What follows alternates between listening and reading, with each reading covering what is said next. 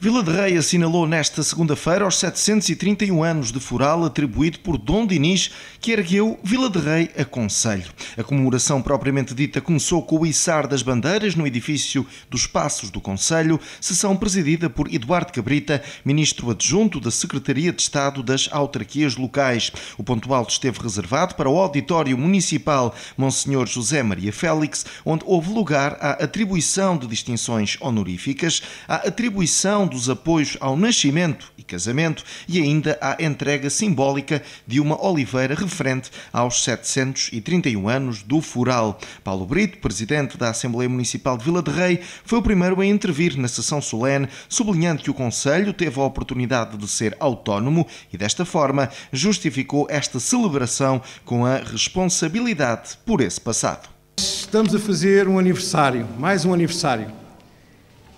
Estão, estamos a fazer 731 anos. É uma data de facto muito bonita, é uma data que, em que somos Vila de Rei, somos um conselho, em que nos foi dado, eh, nos deram esta oportunidade de podermos ter esta autonomia e por isso é uma data que devemos, como todos os aniversários, é claramente importante que possamos celebrar com alegria, celebrar com um, uma responsabilidade daquilo que fazemos, daquilo que somos, uma responsabilidade pelo passado que temos e uh, nestas datas uh, são, é sempre bom podermos parar um pouco e perceber e analisar aquilo que temos vindo a fazer e, acima de tudo, perspectivar aquilo que queremos fazer para o futuro. E é, é impressionante que, se olharmos para o nosso passado e para aquilo que temos vindo a ser, eu diria que somos, nós vilarregenses, somos muito orgulhosos daquilo que somos. Nota-se em nós este orgulho de poder ser vilarregense, de poder pertencer a esta zona do interior do país, de podermos ser o centro geodésico de Portugal continental. E, portanto, este é um orgulho que temos e que, uh, e que é para nós o, grande motivo, é para nós um grande motivo de, uh, de afirmação, um grande motivo de, de afirmação perante, perante o país. Uh, eu diria que os vilarregenses são, são humildes e são trabalhadores e, como dizia, têm muito orgulho daquilo, daquilo que são e da terra onde nasceram.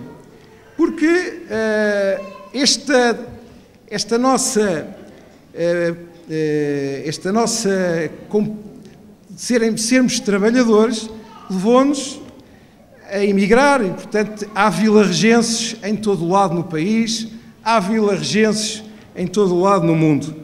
E, por isso, esta nossa, este nosso valor do trabalho levou claramente a que nós pudéssemos ajudar não só a construirmos a nós próprios, mas ajudámos muito a construir outros, o país, outras cidades.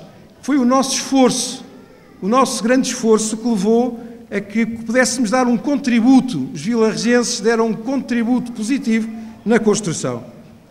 Bom, uh, e por isso, assim como nós, perdemos muita gente ao longo destes anos. Houve muitos vilarregenses que saíram e que tiveram e que foram dar o seu esforço para fora do Conselho. E isso achamos que é uma situação que, enfim, é boa eh, em, em, em, em tese, mas que é mau para o Conselho. E precisamos agora, eh, não só Vila de Rei, mas todo este interior deste país, Precisamos de inverter esta situação. Nós precisamos. Portugal não é só aquela orla marítima que está ali com as praias. Não é verdade. Portugal é muito mais do que isso. E se formos fazer umas contas, vamos chegar à conclusão que a grande maioria da população portuguesa que vive no Portugal continental vive naquela pequena faixa junto ao mar. Isto é um problema grave que o país enfrenta. E, Sr. Ministro, estamos aqui em Vila de Rei, tem que ser não só com políticas eh, locais, que é o que nós temos vindo a fazer. Vila de Rei tem vindo a afirmar-se muito seriamente com políticas de cativar as pessoas a, a viverem e a instalarem-se em Vila de Rei, mas precisamos de pensar o país de uma forma mais global e claramente fazer uma aposta no interior do país. Ricardo Aires, presidente da Câmara de Vila de Rei, falou de uma data que é motivo de orgulho para a população, que, referiu, tanto faz pelo Conselho, e ficaram exemplos nas áreas em que a autarquia intervém. Hoje comemoramos os 731 anos da atribuição do Foral a Vila de Rei, pelo rei Dom Dinis. É uma data que muito nos orgulha e, passados sete séculos, Vila de Rei e as suas gentes estão efetivamente parabéns visto que tudo tem feito para que haja cada vez mais qualidade de vida para todos os vilarregenses. Como exemplo, o município de Vila de Rei investe bastante na área social e na educação. Somos pioneiros no apoio à natalidade. Aumentamos a participação dos medicamentos para doentes crónicos. Como participamos os munícipes em transportes de táxis para os hospitais do Médio Tejo oferecemos gratuitamente o serviço de creche, jardim de infância, ATL, feiras esportivas, livros do ensino secundário, bem como os transportes escolares e da comunidade para a sede do Conselho. Enfim, o leque de apoios é vasto, englobando várias áreas, sendo este esforço já reconhecido na medida em que, por sete anos consecutivos, o município foi distinguido como uma das autarquias mais familiarmente responsável. O Executivo de Vila de Rei percebeu que a população necessitava deste tipo de iniciativas para que se pudessem manter no Conselho. Uma vez que este está no interior do país, com todas as limitações que isso acarreta, e por isso tem o município o dever de criar políticas de apoio e intervenção social que possam apoiar a sua população. Este empenho iniciou-se ainda por antes da, por, muito antes da Administração Central, ter pensado em tais medidas, pois só muito recentemente os governos se têm dado conta de que é necessária uma política de apoio à revitalização da sociedade para que possa crescer e aumentar a taxa de natalidade, a qual se tem registado em níveis muito baixos, mais do que seria desejado para o crescimento do país. Para continuarmos a aumentar esta qualidade de vida de todos os vilarregenses, necessitamos que o nosso Governo mude uma vez por todas a lei das finanças das autarquias locais. Digo isto, visto este ser um tema que nos preocupa bastante, nomeadamente no que diz respeito ao recenseamento de um elevado número de pessoas que se encontram a residir no Conselho e que, contudo, continuam recenseadas noutros Conselhos.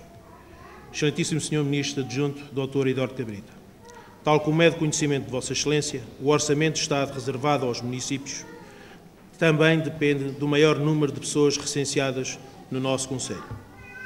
Sendo assim, estamos perante uma situação duplamente injusta, porque continuam a ser canalizadas verbas que pertencem por direito a Vila de Rei e para, para outros conselhos.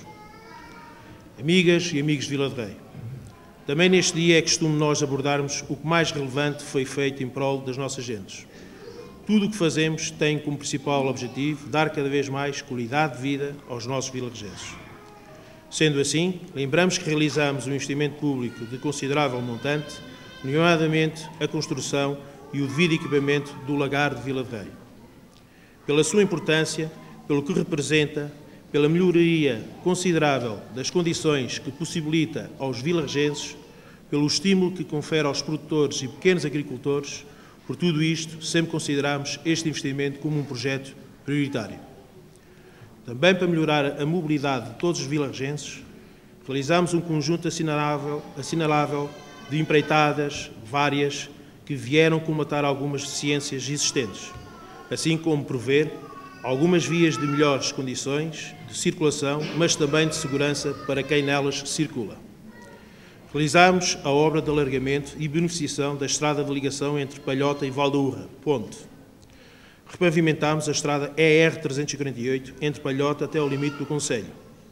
As estradas de ligação entre Lagoa e Fundeira e Vilar do Ruivo, com ligação ao Monte Novo, Macieira e Vilar, bem como acesso ao Algar. Se repararem, fizemos investimento por todo o Conselho de Vila de Rei. Numa outra vertente, no mês de agosto, iniciámos a ampliação da Escola Básica e Secundária do Centro de Portugal, munindo a nossa escola de novas salas, cobertura de um polidesportivo, infraestruturas exteriores com novos equipamentos, dando melhores condições para os nossos alunos, funcionários e professores. Mais um investimento na educação em prol dos nossos jovens e do ensino. Sinala ainda a conclusão do projeto piloto de implementação da tecnologia LED na iluminação pública em todas as povoações da freguesia da Fundada, iniciando assim o projeto que temos de eficiência energética para o Conselho. Amigas e amigos Vila de Rei, hoje iremos atribuir os apoios ao nascimento e casamentos, com o intuito de agraciar estes jovens pela coragem de continuarem a sua vida com mais responsabilidade. Referir que desde 2005, repito, desde 2005, não havia tantos nascimentos. Esta notícia deixa-me bastante satisfeito. Os nossos jovens, ao terem mais filhos, é porque estão a acreditar na nossa terra, o que nos deixa com muito mais entusiasmo em continuar no modo como estamos a gerir o Conselho. Seguidamente, visto ser um importante dia para todos nós, organizamos um conjunto de iniciativas e atividades recreativas e culturais com vista à celebração desta grande efeméride. Sem dia do Conselho, é com muito gosto e honra que iremos distinguir várias associações do Conselho, sendo estas bastante importantes em diversas áreas, como na segurança, na saúde, no desporto, na cultura e a nível musical. Eduardo Cabrita, ministro adjunto da Secretaria de Estado das Autarquias Locais, foi o último a usar a palavra e dirigiu-se aos mais jovens para dizer que vale a pena trabalhar no presente para garantir o futuro. É um motivo para mim de grande honra, de satisfação estar convosco neste dia em que celebram a autonomia municipal, com os 731 anos de Foral, mas mais do que isso, celebram o orgulho na vossa identidade, o orgulho na capacidade de, nesta terra, nesta terra que é o centro do centro de Portugal, de afirmar a confiança nas potencialidades da região, a confiança na capacidade de fazer futuro. Esta assistência particularmente difícil, mais estes 25 espectadores exigentes e especiais para os quais todos pensamos, bem mais difíceis de me dirigir do que aqueles que encontrei há uns dias da abertura do ano letivo. Estou certo que são estes 25 espectadores muito especiais que aqui temos a razão de ser aqui do trabalho que todos, a nível nacional, regional ou local, desenvolvemos. Não sei se terá sido por ter um dos membros do governo que maior número de filhos tem, que terá justificado o convite para estar aqui. Mas estou certo que esta, estou certo que esta presença me permitirá aqui afirmar aquilo que é a vossa convicção nas potencialidades de Vila de Rei. E queria aqui transmitir-lhes, sobretudo, em torno das preocupações expressas, quer pelo Sr. Presidente da Assembleia Municipal, quer pelo Sr. Presidente da Câmara Municipal, aquilo que são, permitam-me, três ou quatro mensagens de confiança no futuro e de confiança no papel que a região, que esta autarquia em particular têm. Primeiro, uma confiança profunda na capacidade de realização a nível local. É uma prioridade da ação do Governo uma estratégia sustentada de descentralização. Temos décadas de reservas, décadas de desconfiança por razões várias sobre a capacidade de, a nível local, de a nível regional, se decidir melhor aquilo que é a utilização de recursos, a definição de prioridades. Estou certo, é esse o nosso caminho é, aliás, nessa via que esta semana iniciaremos uma fase decisiva de trabalho com a Associação Nacional de Municípios que, nas áreas da educação, nas áreas da saúde, nas áreas do apoio da ação social, da gestão ambiental, da utilização da floresta e do potencial agrícola, que a dimensão local e uma intervenção acrescida das autarquias locais é aqui fundamental. O papel que as autarquias já têm hoje relativamente ao ensino básico deve ser alargado.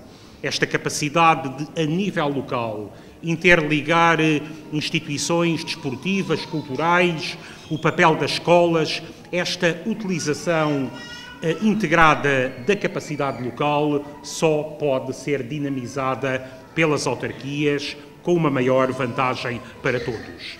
Esse será o tema do Conselho de Coordenação Territorial com a presidência do Primeiro-Ministro, que se realizará na sexta-feira, na sequência de reuniões setoriais, tema a tema, que faremos ao longo de toda esta semana com a Associação Nacional de Municípios.